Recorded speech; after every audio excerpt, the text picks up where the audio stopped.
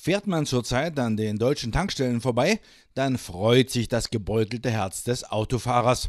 Weltweit ist der Ölpreis gesunken und das spiegelt sich in den Kraftstoffpreisen wider. Das gleiche gilt auch für die Preise für Heizöl. Das hier ist eine Grafik mit der Darstellung der Preisentwicklung.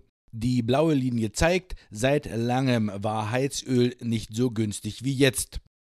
Die meisten schauen im Keller auf den Heizöltank und auch wenn der noch lange nicht so leer ist wie dieser, es lohnt sich jetzt auffüllen zu lassen.